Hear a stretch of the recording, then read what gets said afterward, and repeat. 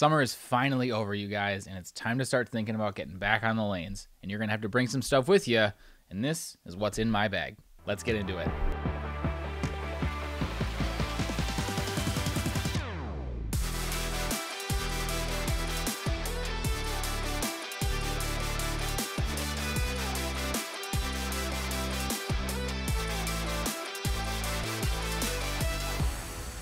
Up, you guys? Welcome to 10 Pin Life. My name is Ben, and in today's video, we are going over everything that is in my bowling backpack. Now, as you can see, this is a Nexus bowling bag, and this is a backpack that is specifically designed with bowling in mind. We're going to take a big tour of this whole thing, but before I get too far into it, if you want to check this out, I have a link to their website below. I think that every penny that you pay for this backpack is completely worth it because it does everything that you can imagine that you would want a backpack specifically built for bowling to do. So the bag itself has actually three different parts. So there's the primary pocket, which is this part right here. But then there's also two detachable pieces, this smaller one and then this bigger one down here. The cool part about these detachable pockets is they're just on clips right here, and then they just slide into some slot holes that are right on the front, but you don't actually have to have them on the bag. This is where all of my primary bowling stuff lives, so they're all pretty much always on there. And then all my camera gear and computers and stuff like that live in the primary bag back here. Another cool part about this bag is it's got these Velcro pieces that are on the front, and you can actually attach much and detach these Velcro patches. Now, these are directly from Nexus,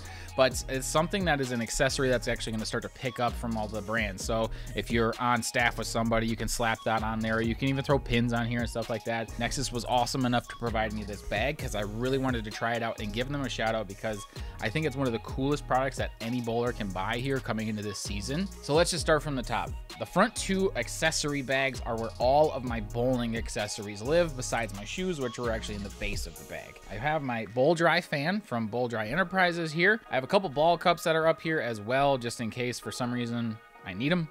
They're ball cups, it's bowling. Sometimes you need a place to put a bowling ball. In the second pocket of the accessory bag, well, first off, I do want you to know it's actually insulated. So there's a plastic lining in here. You could probably keep stuff cold in here if you want to, but I actually keep my ball cleaner in here as well as my towels. So I've got a couple leather chamois here. I always have two. I've actually found that it is a lot easier to use the leather chamois when you have them stacked on top of each other because they don't slide around as much. Plus, if you're having bad luck and you're superstitious like me, flip them over. Try it a different way and see if that works better for you. And then I have my ball cleaner here. I just use the Storm Reacta Foam. Honestly, it's the stuff that's most convenient for me at my local pro shop. I always use it after I bowl. I never use it beforehand.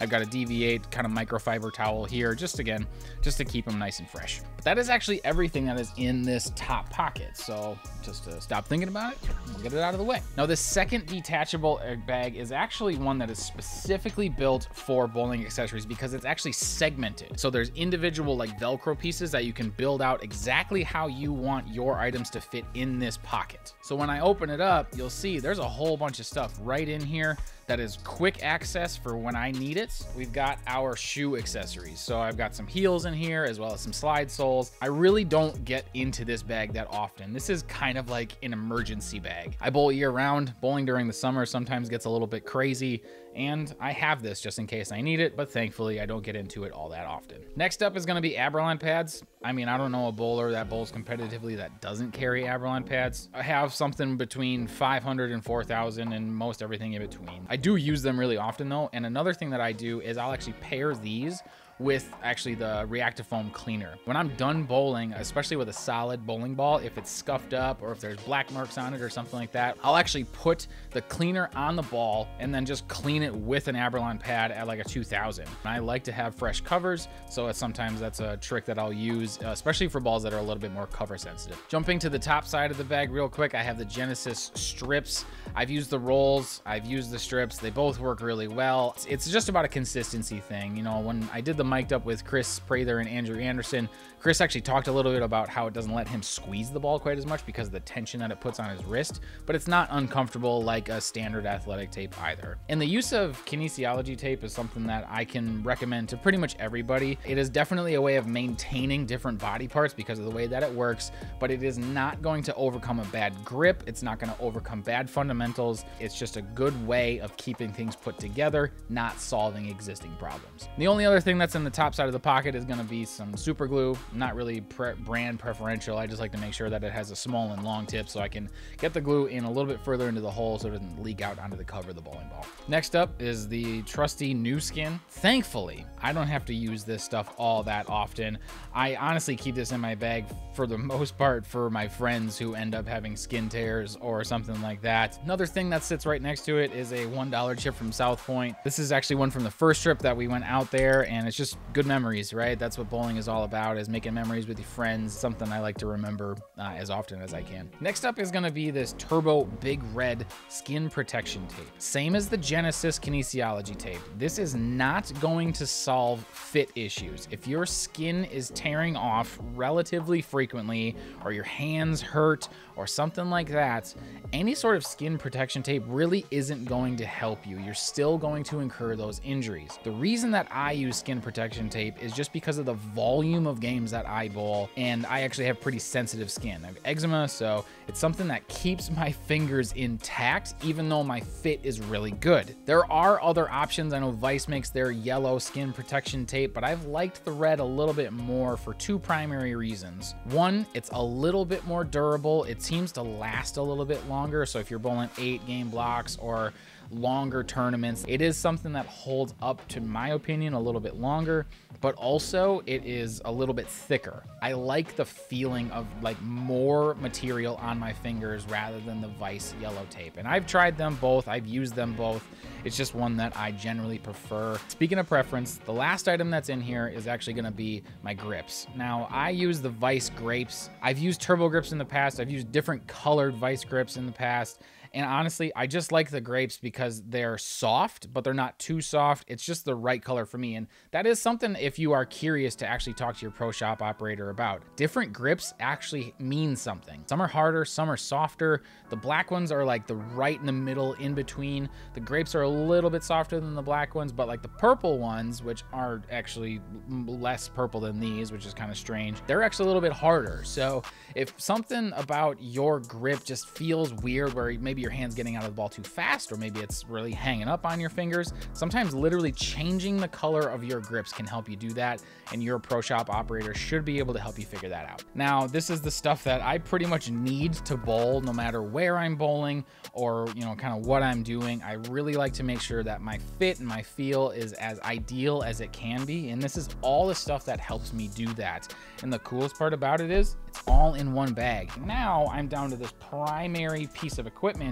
and all my camera stuff is in here. So if I'm going to shoot something, I don't actually need to bring all of my bowling stuff with. It's all just already packed up and ready to roll. So then of course, the last thing for the bowling portion of this bag is going to be my bowling shoes. I had been a really tried and true Dexter guy for a long time. When I would use the most recent SST6 boas, which were super comfortable, I would always have to use an H1 heel, the orange one, because I just, I just needed as much break as I could get because I really like to be stable when I get to the line and not really moving at all. The Dexter shoes for me actually had a lot more of my weight on the ball of my foot and not on the heel. And when I switched, I was like, why am I stopping so hard? It's actually just because of the way that my weight was balanced in the shoe. And since then, I've really fallen in love with these KR Strikeforce Mavericks. And they're just right in the bottom of the, the bag here. So there's just a little side pocket.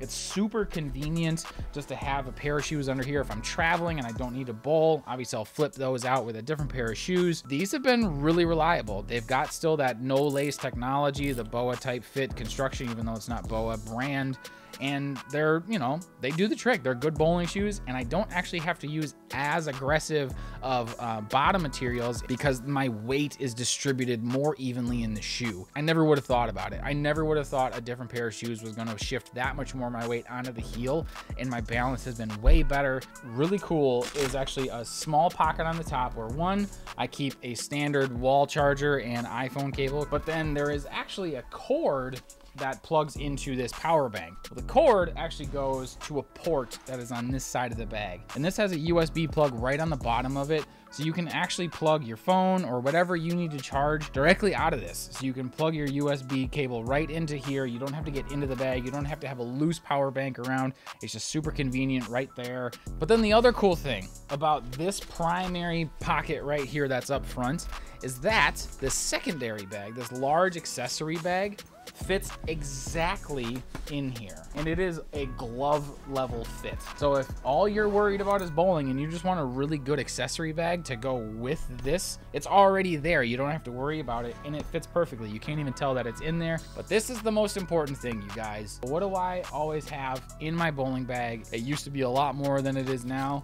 But there's always a snack in my bag, and right now it's Nutty Buddies because they're delicious. Who doesn't love chocolate, peanut butter, and wafers? But I have room for all of it. Like I, as you can tell, like there's a ton of stuff in this bag. It's the best way that I found to do everything that I want to do in bowling. From actually throwing the ball myself, being able to do content like this for you guys, this Nexus backpack has really made all of that possible and convenient. The gentleman that runs it is a veteran. He's doing trying to really make something really cool for us bowlers, but that's not the last thing that I want to touch on. This is something that I really believe helps make bowlers better bowlers. It's 10 pin toolkit. And Simon, who runs it, just released a huge update. He's got it to where you can actually put your entire arsenal in here. So all of the other cool stuff that he's already got in here, including a pattern library that has every pattern you can imagine. It's got the angles and targeting tool, which you can actually overlay a pattern and then actually figure out where you want to be like on the lane and what you want your ball path to be so you can see it on your phone before you ever even step onto the approach.